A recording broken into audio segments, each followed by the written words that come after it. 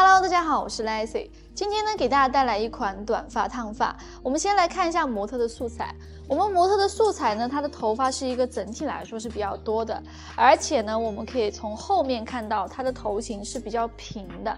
那一般后头部比较平的这种头型呢，两边的宽度会宽。同时呢，她的头发呢，从镜头里面应该可以看到，它有一点点微弱的自然卷。大家可以看一下，对应这样的素材，我是怎么样去操作的。好，接下来我们先开始分区。好，我的区已经分好了，分了一个前后的分区。那我们的后头部呢，是分到哪里呢？分到我们枕骨以上两公分的位置，从高的地方微微的斜向前。那这样分区的目的是什么呢？因为我们 model 的头发呢比较多，还有就是它头比较平。那头发多的时候，如果这里我们是分平的，那中间的堆积的这一块呢，它会特别厚实。所以呢，我分了高的地方呢。哎，是高点在我们的正后面，然后呢，低点在耳朵的旁边。那通过角度的提拉，这个位置呢会去的量会非常的多。那这样的话，哎，我们的后头部的堆积的地方会容易被我们拿掉发量。好，我们可以先设定一个头发的长度，头发的长度呢一定要比我们最终要的那个长度呢长两公分左右，剪平就可以了，自然垂落，不要带张力。当我们设定好长度以后呢，我们选择提拉角度，头往下低的情况下呢，我们的角度呢抬到接近水平的位置。因为我们的这个模特头发比较多，同时我今天想要去表达的发型是饽饽和有层次之间的一款发型，所以呢，我们的角度要略微的抬高，抬到轻堆积的角度。好，第二片呢，我们微微的分斜向前，头往下低十五度，抬到平行我们分缝线的位置。注意发片不要往后靠，原位去提拉，因为头发太多了，不允许我们有一点点的靠位。还是一样的，颈侧点以内呢，我们都是原位去剪，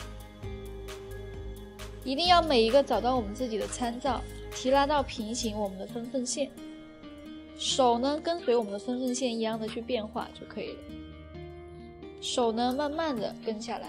好，这个时候呢，已经到我们颈侧点以外，那我们呢要保留这个长度，所以呢全部往后带，在我们小转角的地方微微的向下滑一个 C，尽可能的保留我们边缘线的长度。好，也是一样，全部靠到颈侧点。注意看，这个时候呢，我们向下滑一个 C，保留一下我们。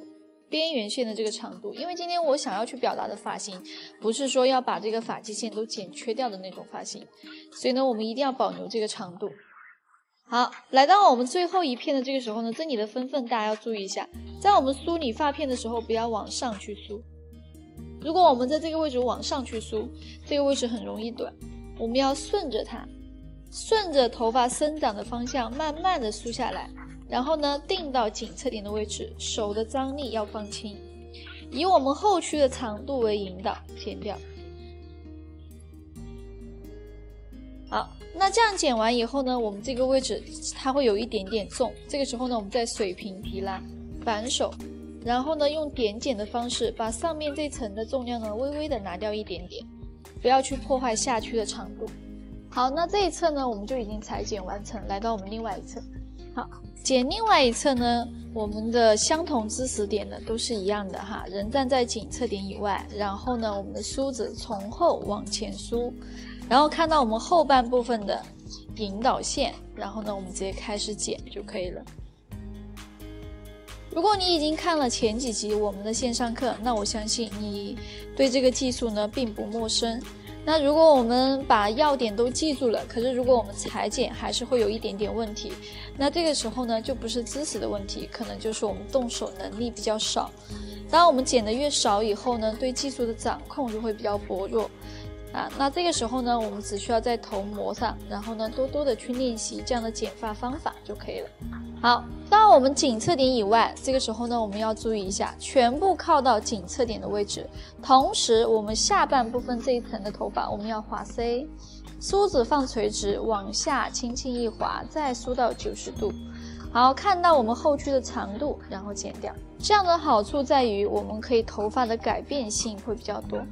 那如果今天我们要把转角边缘线的这一圈，我们把它剪短，那也就意味着我今天的这个发型变化它会比较少。所以我给大家一般的建议是什么呢？就尽可能我们可以先留长，等到我们头发烫好结束以后，我们再根据整体的效果去调整，这样的话我们会比较安全。好，然后呢，我们水平去划分。然后呢，反手原位啊，不要向前，也不要向后，原位。然后呢，这里会有一个尖锐的角，我们把这个尖锐的角呢去点剪一下，呃，这样呢，我们顺着发际线梳理的这个地方，它不会过于的太厚。当我们下去裁剪完了以后呢，我们选择一把削刀，然后呢，把我们的底线削掉半公分左右。那这样的目的是什么呢？就是把我们刚才一开始定的那个长度的硬线，我们去把它拿掉。在这个位置不要拿的太多了。当然了，你也可以直接提拉剪层次，不用去设定这个底线。那这样剪出来的头发呢会比较柔，但是这样剪出来的头发呢，它的安全性会比较弱啊。当然，如果你的控制力好是可以的。那如果我们的控制力比较薄弱，那你还是像我一样的，先定一个底线，我们再来拉层次。拉完层次以后，再选择削刀去把底线削一下，它也可以得到相同的结果。好，那这样呢，我们的下半部分就已经完成了。来到我们的上半区，我们的上半部分呢，我选择分的是一个微微的圆弧形的区域。那为什么要这么分区呢？是因为它的头发这里会比较平，那这个位置呢是我们的重量区，所以呢，我们这个位置要低。然后呢，两边要分高。那为什么两边要分高呢？是因为一会儿我们再往前去提拉的时候，这个位置会显得比较多。那这个位置呢，它比较低嘛，剪出来会比较少。那这样的话，我们两边可以收得很紧，然后后头部呢，它会有一个微微的自然的弧度。斜向后去分区，往前带，以我们下半部分的这个长度为引导，轻堆积的角度，慢慢的往上抬。因为头发太多了，在这个位置你不要剪的层次过低。如果你剪的层次过低，这个头发会特别厚重。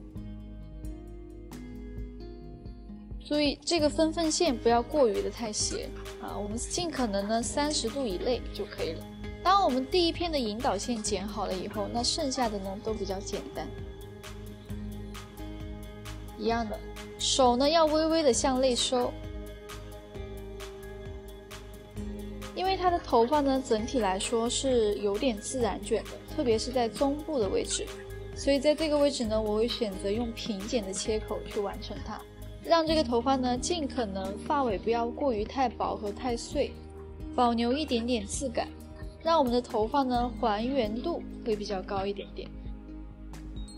全部都是二靠一，三靠二，四靠三。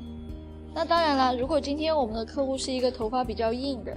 但是也没有那么多自然卷的，那在这个位置呢，我还是建议大家使用点剪会比较好。尽可能的剪超过哪里呢？超过我们的中心线的位置。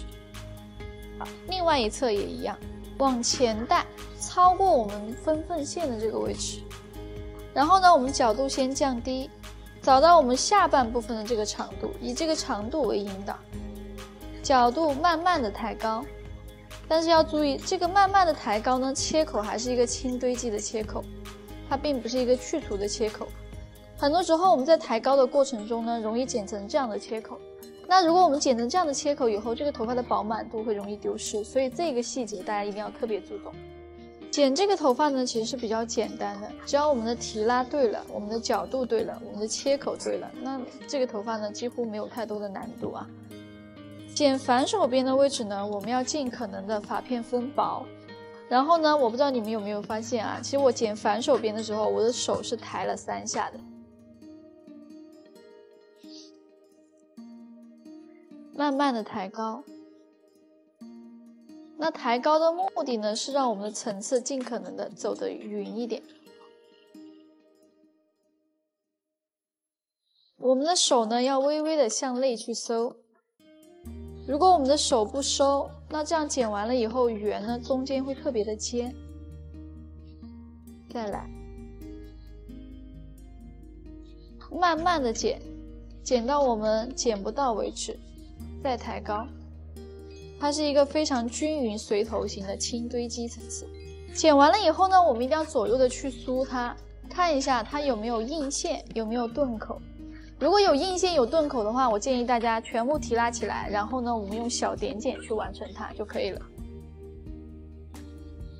好，来到我们的上半部分，上半部分呢也跟我们的下半部分是一样的，从侧面开始剪，往前去带。那剪上半部分的时候呢，我们就要选择小挑剪了，先抬到水平的位置，然后呢，我们再微微的抬高一点点，把这个角去掉。让我们的这个头发呢，它不要有过于明显的重量感。这一类的发型呢，都属于是比较年轻的客户的发型。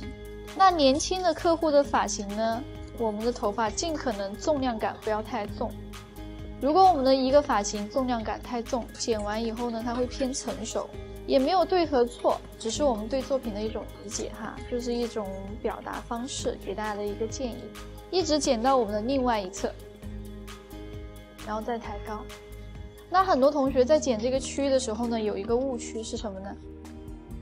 一开始发片就抬得过于太高，导致上半部分的头发过于太短。那这样的话，我们的头发出来的结果它会比较中性。好，这个时候呢，我们的另外一侧先往前去带，把这个角呢微微的去拿掉一点点，然后我们再抬高。其实我们 model 的这个头型，它是两边长得不是很一样的，这边呢会比较高一点，这边会比较低一点啊。在视频中应该是能够清晰的可以看。好，那这样呢，我们整个后半部分就已经结束。好，前区呢我们分上下的两层，然后呢先把耳上的这一部分，我们微微的向后，自然垂落往后去梳理，然后呢看到我们后区的引导线，后区的底线为引导。慢慢的把它削掉，在这个位置呢，我选择的是一把削刀，尽可能在削的时候，我们的这个切口小一点。好，再把这个位置的头发呢，自然的放出来，再以它为引导，向下梳，向后带，张力放轻，再把它拿掉。好，得到这个结果，我们就可以了。上半部分呢，自然垂落，以我们下区的长度为引导，削掉，削一个等长就可以了。这时候我们先不用着急去做层次啊。好，这一侧也一样，从耳上的位置开始，前后分区，一定要自然的垂落，自然的梳理，夹在耳朵的后面，以我们后半部分的底线为引导。削，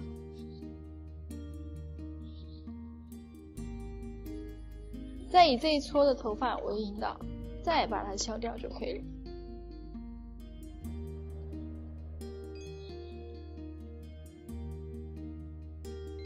好，得到这个结果就可以。这一侧也一样。那剪这种技术呢，尽可能的建议大家使用削刀啊。因为它角度拉的极其低，如果我们选择用剪刀，这个头发剪完以后会比较生硬。当我们的轮廓建立好了以后呢，我们上半部分的头发呢，横向去分区，微微的向后带，以后区的长度为引导，小点剪，剪一个反头型的切口。去保留什么呢？保留我们刘海的长度。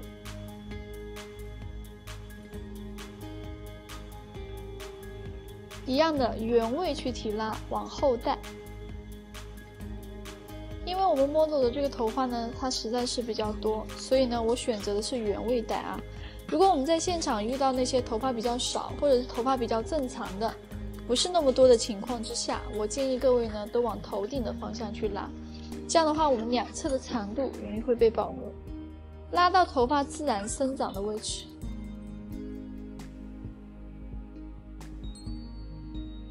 尽可能我们把刘海留长一点。这样的话，剪完以后它会比较帅。剪到我们转角的位置，我们就可以暂停了啊。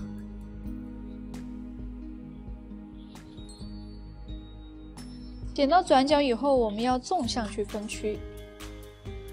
以我们后半部分的长度为引导，往后带，提拉到哪里呢？提拉到我们转角的这个方向，然后呢，我们挑掉，尽可能要保留底线的长度，往后靠一片，这样的话，我们的前面的长度就会容易保留。如果我们随头型去剪呢，我们前面的头发容易会被剪短，也是一样的，二带一，三带二，四带三。那这时候呢，我们越到前面呢，剪的就会越少。一定不要随着这个头型下来啊！如果随着这个头型下来，我们这个位置会容易剪得很短。当然，如果你是想要表达前面比较短的，是可以的。但是呢，它不是我今天想要去表达的发型。好，得到这个结果，我们这一侧结束，来到我们另外一侧。另外一侧呢，我们也相同啊。当然了，有时候我们在现场做到那种比较温柔的客户，那这个时候呢，大家是可以剪一个随头型的圆形。那样剪完以后呢，我们的头发会比较温柔，它不会有我们视频里面的这个头发那么的帅气。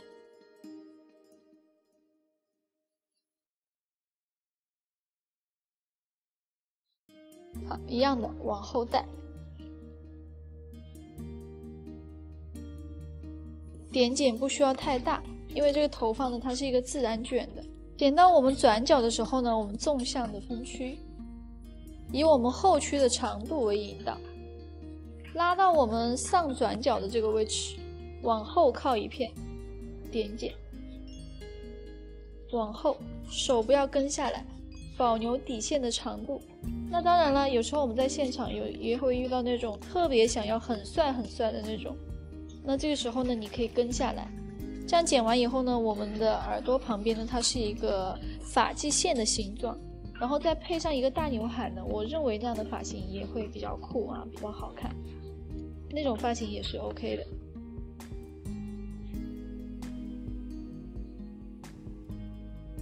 前半部分的刘海呢，这个位置会有一点长，我们往前带，把这个尖角呢微微的拿掉就可以了。所有中间的头发都往第一片的位置带，挑掉。有我们就剪，没有咱们就不剪啊。好，那这样呢，我们整个结构就已经完成了啊！大家可以看，它是介于饽饽和短发之间的一种。如果我们的客户是第二次想来改变发型，那我觉得这种类型的头发呢也是非常漂亮的，大家可以去尝试一下。好，接下来我们开始打薄。好，我们打薄呢分一个上下三层。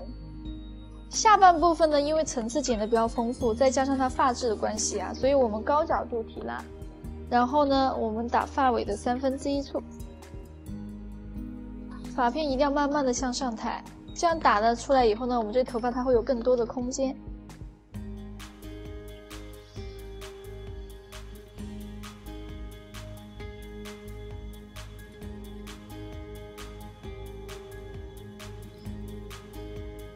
不需要往后靠，你只需要往上抬就可以了。一个发片呢，我们可以打两下到三下左右，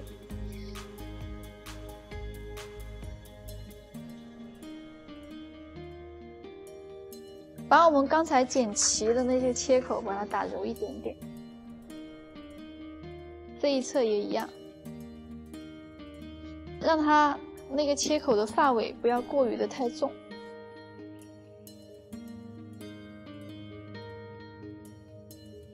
抬得越高越好。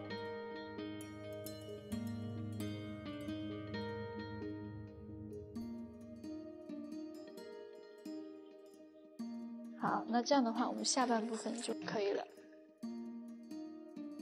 中间的这层呢，是我们头发自然卷最厉害的地方啊。所以中间的这层呢，我们发尾不要去动，我们全部贴根去打。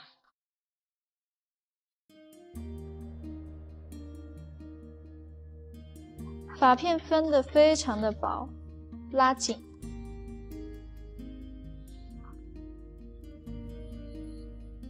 去把它头发的发量呢整体都拿少，但是呢要保留发尾的质感。这样的话，我们的头发呢，它就会既有质感又有空间。如果我们的头发是一个自然卷，你还打发尾，那它很容易翘啊。中部的位置呢，我们挑二分之一处就可以了，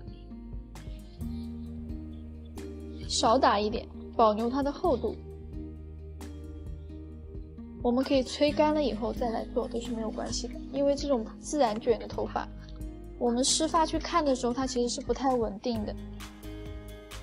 因为不知道这个头发吹干了以后，它到底能蓬到什么样的程度啊？所以给他的建议是，尽可能保留厚一点去烫，烫完了以后再调整会比较安全。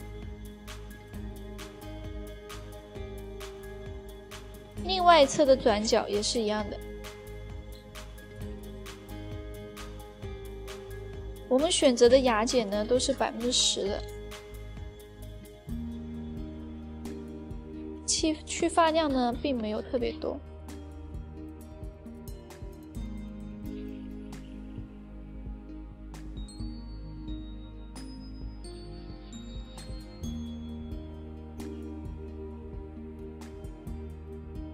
当我们要打发根的时候，一定要拉紧。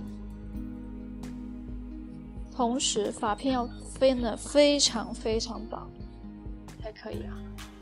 好，打到我们后半部分的转角的位置就可以了。打过发根的地方，发尾不要动，打接近发尾的位置，间隔挑一下就可以了。好，那这样的话，我们整个后半部分呢就结束了。它是从薄到柔和再到重的一个过程。耳上的这个位置，我们贴根打；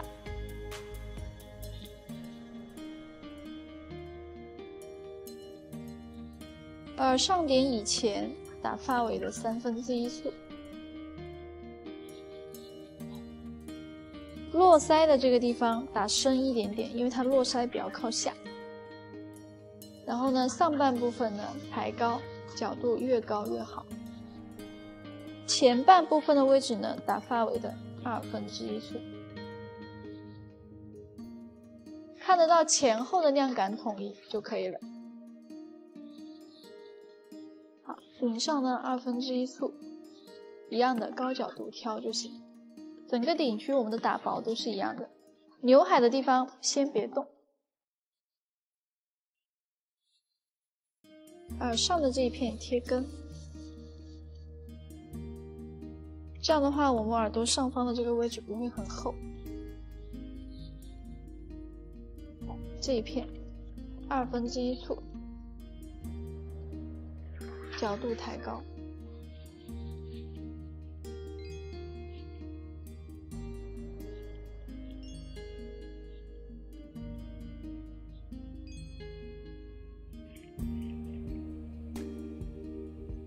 小鬓角的这个地方，我们可以打深一点。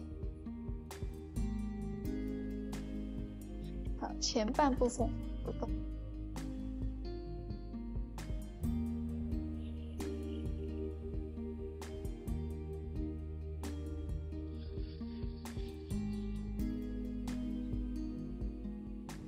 好，那这样呢，我们的整个打薄就已经结束了，大家可以看一下。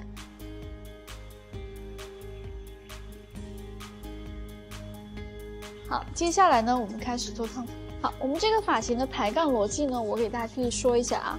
其实它我们的头发非常的多，那它的头顶其实不需要烫，一会儿吹干以后它自己就会松起来。那我们烫的目的呢，最主要的是第一个，我们刘海的地方一定要有一点点卷度，这样的话会比较漂亮。第二个是什么呢？就是它中部地方有点自然卷，我们要把自然卷的地方呢稍微做顺一点点，然后呢发尾中部，然后呢去给它去收紧一下下。然后边缘的地方呢，制造一点点卷，这个头发就会特别的漂亮。所以呢，我们今天的排杠呢，都是围绕着第一个边缘的卷度去做，第二个呢，把它自然卷的地方用药水去软化一下，让它变得顺一点，有光泽一点。那头顶呢是不太需要去考虑的。那如果我们头发客户头发比较少，如果你头顶要烫高，那这个时候呢，我们选择分薄的发片，你再去烫也是可以的啊。但是今天我是不会选择烫到发根的哦。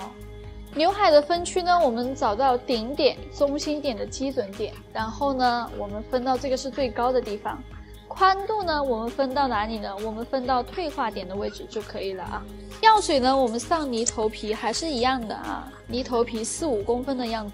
好，我们的药水上匀了以后呢，我们选择一把稍微宽一点的梳子，然后呢，把我们的发根呢去渗透一下，把我们下半部分的这一层的发根，我们都要上到药水，水平向上三十度，往中间的方向带。选择我们冷烫杠的二号杠子，我们用一个杠子去完成它，向内卷一圈，一圈半，两圈就可以了。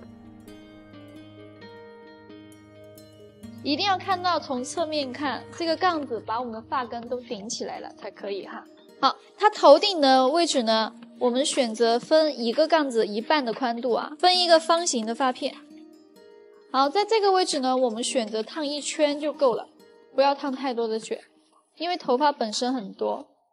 像这种头发呢，层次都在上半部分。如果我们上半部分也烫了很多卷，整个头发上半部分会很大。选择烫一圈，选择跟我们刘海一样的二号杠，向后去卷，垂直中间去提拉。好，一圈，卷完一圈以后呢，已经没有药水了，我们再往下去卷，卷到发根。这样的话，我们烫完的头发它没有压痕。如果你们头发需要烫到发根，发根也要横起来的话，你们的药水可以上到发根的位置，同时呢，这个发片分薄薄的一层就可以了。好，来到我们侧面的这个位置，我们呢把头发呢拨开去看，其实可以看到这里面的它的头发其实还是比较有点卷的。那这个时候，如果我们直接烫发尾的话，吹干了以后这个质感会不好。所以呢，我们在这个位置呢要把药水涂到发根。我们先把头发呢分成小层小层的去找，啊，这个位置大家可以从镜头看到吗？这个位置它就很有很顺。好，那这个地方我们不用放。哎，那这个位置你看可以看到，就像垫过发根一样的，这里一定有点卷了，所以我们的药水上到这个位置，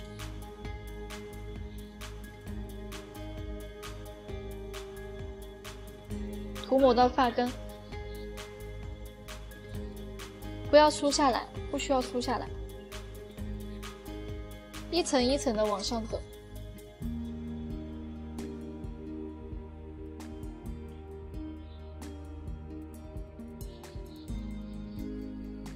前半部分在这里它没有，那只有后面有，那我们就做后面就可以了。尽可能的贴到头皮上啊，这样的话，你这个位置呢，也可以用药水去做一个服贴，它烫完以后呢，它两边也不容易会宽。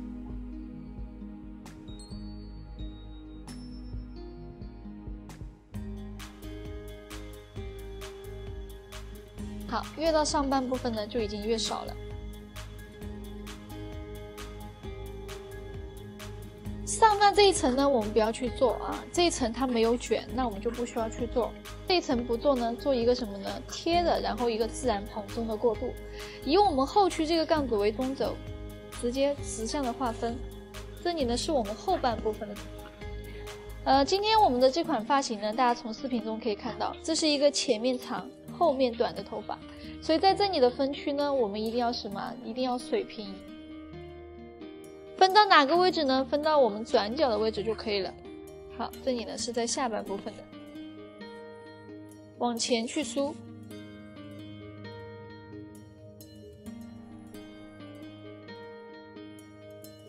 往前梳到我们发际线的位置就可以了。这个位置呢，我们烫一圈半。前面这个位置一圈半，后面这里呢，其实我们只有半圈哈。这样的话，我们前面烫一圈半，可以跟我们前面这个卷度呢，它去做一个衔接。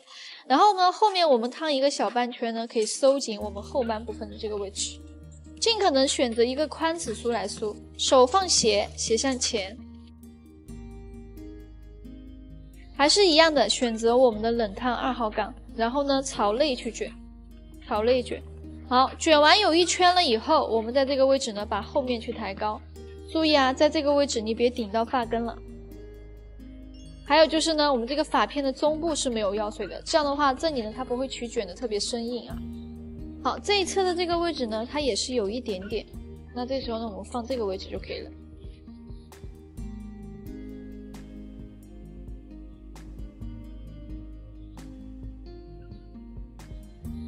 不需要每个位置都去操作啊，你就找到这个头发卷的、蓬的、毛躁的地方，我们去放药水就行了。分水平的分区，分到我们转角的位置，把头发的表面梳过来。放药水的这个地方，尽可能不要去梳到它，因为我们如果一梳到它，这个药水就会顺着它下来。往前带，带到前面的发际线的位置，前半部分烫一圈半，后半部分烫小半圈。手呢摆成一个斜的四十五度，然后呢朝内去卷。好，有一圈以后呢，如果我们再这样卷，是不是这个位置起鼓刮了？那从正面去看的话，两边会特别大。所以这个时候呢，我们要做一个杠子的移位，把后面去抬高，把前面去压低。这样的话，我们烫完这个头发呢，它既可以流向向后走，同时从正脸去看的时候，它不会有特别鼓的痕迹。好，从我们的视频当中呢，你要看得到这两个杠子呢，它是接近水平的才可以。如果我们在这里看到是斜的、斜的、斜的，那也就是意味着可能我们的角度和呃杠子向后抬的这个方向是不够的，一定看到它平的就可以了。好，耳朵旁边这个位置呢，我们也是烫一个向前勾的一个痕迹，一个效果就可以了。头发呢，直接向后向下去梳，药水呢梳梳到我们哪里呢？耳上的这个位置。选择的这个杠子呢，一定是在这个位置可以卷一圈半的。往后带，看到耳垂，往下，然后呢手，这个手呢你要贴住它的耳背，然后呢这个手的斜度呢一定要跟它的脸基线一样斜。这样烫出来才会比较漂亮。然后呢，我们的发尾一定要向下啊，发尾不要向上，发尾向下。然后呢，我们往前选择一个反卷就可以了。这一侧也是一样的，以这个线为中轴，然后呢，我们垂直去划分。所有的头发往后梳，药水呢，我们梳到耳上最高的地方就可以了，不要再往上梳了，因为上半部分呢，我们烫不到。就尽可能我们上药水啊，你不要上到你不烫的地方。有两个好处，这样上药水，因为如果我们上到不烫的地方，第一个呢，这个头发会受损；还有一个是什么呢？我们的卷度会特别的多，所以我们不需要啊，因为卷度一多，整个头呢它就会显得很大。所以在这个位置呢，哎，烫哪里，药水上在哪个位置，既可以保证它的发质的安全，同时呢，你的卷度不会超。那你烫完以后呢，头的体积不容易会变大。好，那这样的话，我们的前半部分就已经完成，来到我们的后半部分。好，我们后半部分呢，在这个位置呢，我们分一个圆弧形的区块，高角度去提拉，然后呢，在这个位置也是一样的啊，烫一圈，角度一定要抬高。然后呢，我们选择大一号的杠子，比前面大一号的杠子，一号杠。然后呢，我们选择向后卷。让这个头发呢不要有卷度，但是呢它有一个自然的纹理，然后呢落下来会比较自然。找到我们耳朵以上的三个手指的宽度，微微的向下去划分。另外一侧呢我们也一样，分一个微型的区域，在这个位置呢我们要选择斜向前去划分。斜向前去分区，斜向前去分区，把所有的头发呢，我们向后去梳，向后去带，带到哪个位置呢？带到我们颈侧点的这个位置，往后，角度不要拉低了，角度呢，我们拉到四十五度的角度，那拉到四十五度的角度，这样去烫完以后呢，这个落下来它卷度会比较自然。如果我们在这个位置拉得很低呢，这个卷呢，它会特别的聚拢。聚拢了以后呢，它卷度会不生动，不会那么的好看。在这个位置呢，我们去烫一圈就可以了。往后带，带到颈侧点的位置，手呢四十五度，然后呢选择跟我们前半部分同等大的杠子，垂直向前卷，发尾向前，垂直向前。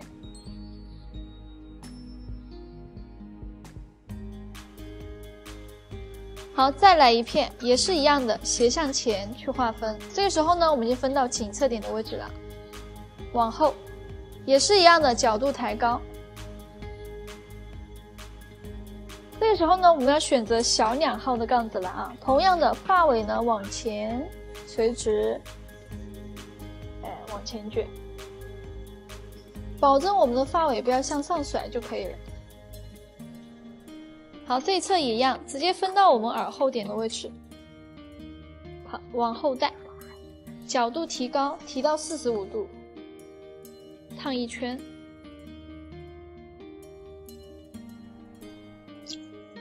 手放垂直，选择跟我们鬓角一样大的杠子，然后呢，直接朝前卷。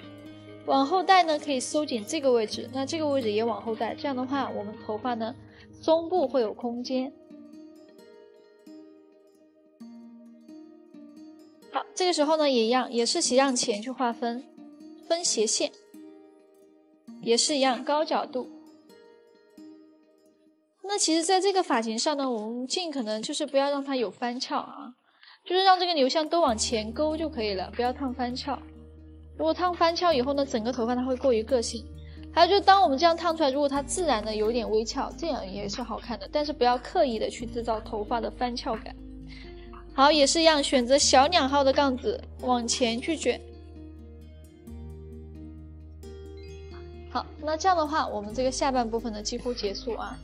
在这个位置呢，我们可以选择什么呢？我们可以选择一个杠子，或者是棉子来选择你都是可以的。好，在后半部分这个位置呢，我们高角度提拉。然后呢，我们选择一个什么呢？收紧的手法，杠子呢比我们两侧的稍微大一号，因为这个位置呢，其实我们不需要它有卷，我们只需要呢它有一点纹理感就可以了。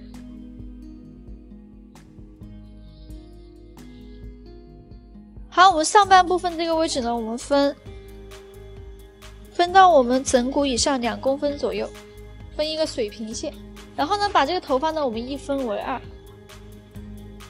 分成一个纵向的，这边的头发呢往前带，烫一圈，然后呢，我们选择哎大一号的杠子，然后呢，我们发尾朝后去剪，往前带，朝后卷。我们下半部分的头发呢是朝前的，我们。我们上半部分朝后呢，它会制造很多的不同方向的动感。这一侧也一样，往前带，选择大一号杠，垂直向后卷。那其实我们为什么要垂直剪呢？其实还有一个好的，就是我们更好的做过渡啊。如果我们是卷翻翘，或者是平着卷，这个地方要么就是很拱，要么就是很翘，这不是我想要的一个效果。因为我们今天并不是表达那种翘的特别厉害的头发。好，我们上半部分的呢，都把它分成长方形的四个杠子。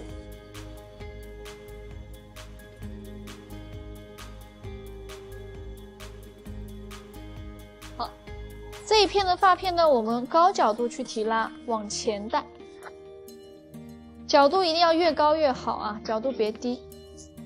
然后呢，选择我们的二号杠，然后呢朝后去卷，因为这个位置呢头型最宽的，同时呢也是发量最多的位置，所以呢我们选择大一号的杠子。那通过我们高角度的去提拉呢，这个时候呢我们每一个发片发尾啊，我们都烫得到。那这样放下来，它的过渡会比较好看。好，中间的这个杠子也是同样的高角度。你可能会想，哎，它的头比较平，为什么我们不烫一个向内的？是因为他的头发发量很多，其实我们随便烫，这个饱满度它会出来，所以我们不要去制造它的饱满度。也是一样的，烫一圈，角度抬高，越高越好。好。我们前面这个杠子向后，这个杠子也是向后，那这个杠子呢，我们就要朝前卷了啊！选择小一号的杠子朝前卷，垂直。好，我们这一侧也是一样的，烫一个，烫一圈，角度抬高。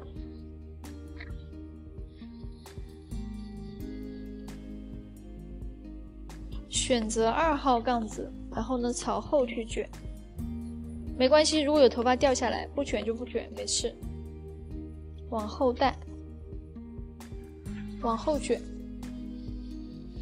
哎，这样我就可以了。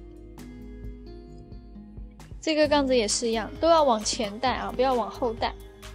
因为往前带的话，其实这里烫不到，这里烫不到，这样的话，我们整个头发呢，它会是向前收紧的。好，这边也是一样的，我们朝前去卷，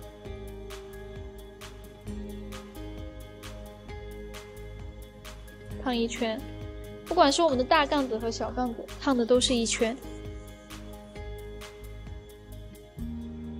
好，那通过这样的排杠呢，我们这个杠子呢刚好又这样落下来，它可以弥补这个位置哈。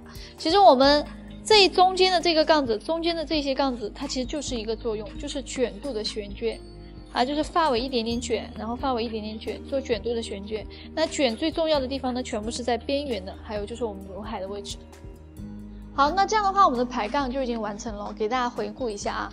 我们刘海的这个地方呢，卷了两圈，然后呢，这个杠子呢，我们前面是一圈半，后面是一圈，然后我们耳朵的这个位置呢，一圈半，一圈啊，一圈一圈一圈，整个后半部分大部分都是一圈哦，只有刘海的地方会卷的多一点点啊。希望我们这个烫发的排杠呢，大家可以多多的去看，同时去练习。好，那现在呢，我们这个头发加热十分钟，然后呢，我们一会儿看效果啊。好，现在我们已经加热了十分钟，冷了十分钟，那我们检查一下效果。我们一样的啊，先从前面这个位置我们去检查，因为前面这个位置呢是我们最需要卷度的地方。拆杠以后呢，我们用梳子去梳一下，然后呢，自然的去抖。抖了以后呢，我们一定要看得到这个卷度的回弹力啊。这个卷度呢越弹，它就会越卷；那越直呢，它就会越自然。好，我觉得现在这个效果呢是我想要的一个效果。我们接下来呢准备定型，我们呢把杠子还原。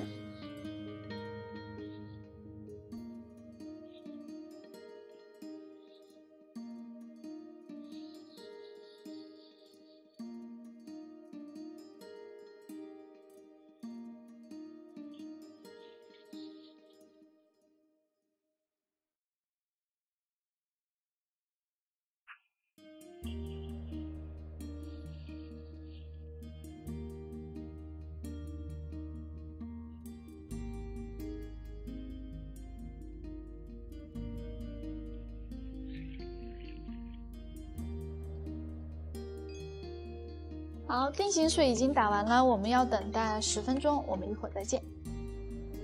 好，我们定型的时间已经到了，我们现在呢准备拆杠。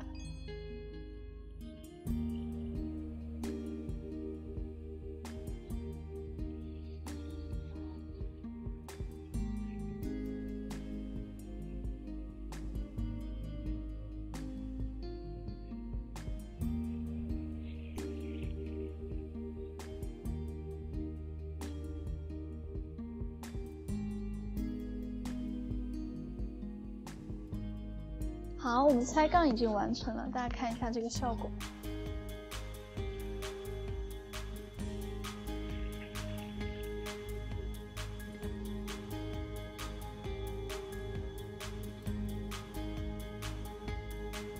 好，我们接下来去洗头，一会儿见。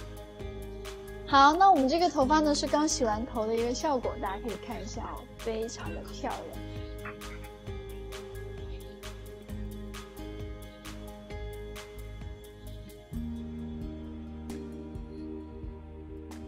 好，那接下来呢，我们可以去吹干。如果你们喜欢这种湿发的感觉呢，我们也可以就是打一点点摩丝，然后捏一下也可以哦。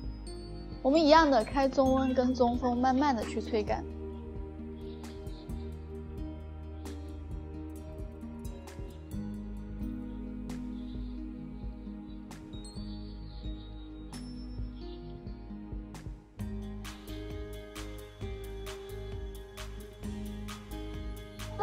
刘海的地方呢，我往上吹。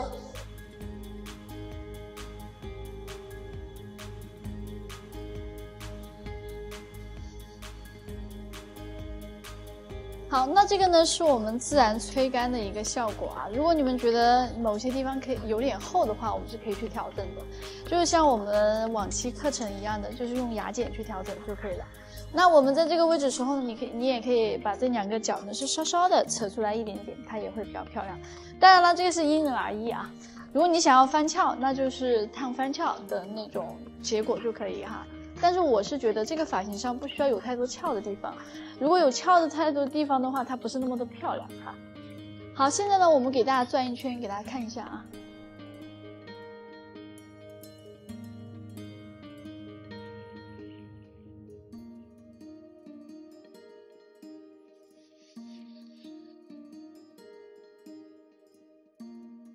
那这个呢是自然吹干的效果。当然了，我们也可以去打一点点的发蜡，让这个头发呢看上去线条感会更强。啊，那我呢就打一点精油，这个精油呢它是有点油的那种哈。然后呢，我们可以打到，先打下半部分的位置，然后呢再来到我们的两侧，两边呢往里面去收，把它呢去压紧。然后呢，再到我们的中间的部分，左右的去抓，这样呢，我们的分分线它会比较自然。然后呢，再到整个发尾的地方，最后呢，我们再施加一点点前半部分的发根，这样的话线条感会特别的强。最后呢，我们吹风机去抖一下就可以了。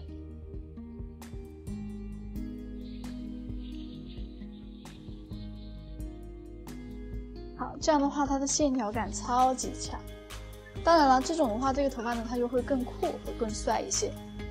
那这个头发可以呈现的呢，其实还是蛮多种的。其实那种湿发的卷，湿发的那种，然后呢，我们打一点点摩丝的那种头发，其实也会很漂亮。当然了，你喜欢哪一种风格，你就可以按照那个方法去做就可以了。我们呢打完东西以后呢，可以去理一点点线条。